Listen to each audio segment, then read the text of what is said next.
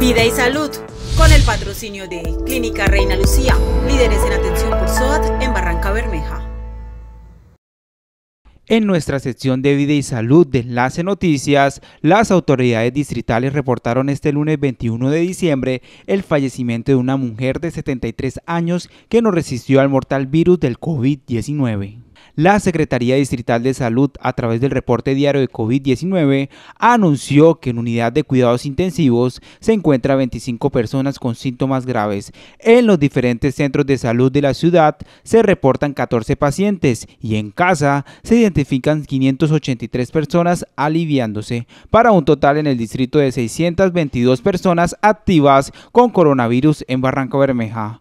Hoy el puerto petrolero amaneció con una tasa de pacientes recuperados de un 91.1%, con un registro de 37 personas que vencieron al virus satisfactoriamente se notificaron 46 nuevos casos positivos para COVID-19 en 24 hombres y 22 mujeres en la ciudad. La alcaldía distrital hace un llamado a la comunidad de seguir aplicando las medidas de autocuidado usando los elementos de bioseguridad, uso correcto del tapabocas y el distanciamiento individual en sitios de aglomeración de personas. Vida y salud con el patrocinio de Clínica Reina Lucía, líderes en atención por SOAT en.